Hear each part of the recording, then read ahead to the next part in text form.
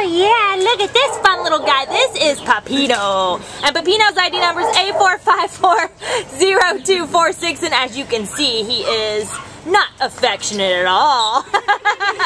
um, he loves to give kisses. He is a miniature poodle mix. Um, he's about four years old and he came in as a stray on June 9th from El Monte. He weighs 11 and a half pounds, and obviously he's full grown.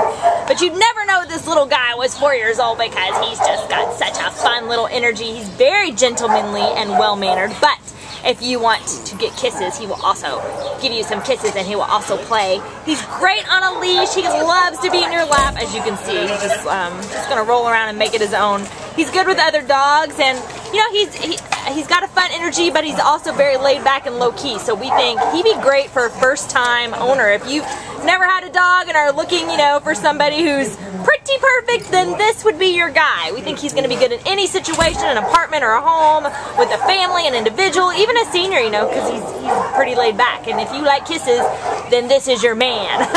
so come on down and meet Pepino today at the Baldwin Park Shelter and take this cute face home with you and all his curly little hair. Bye-bye, Pepino!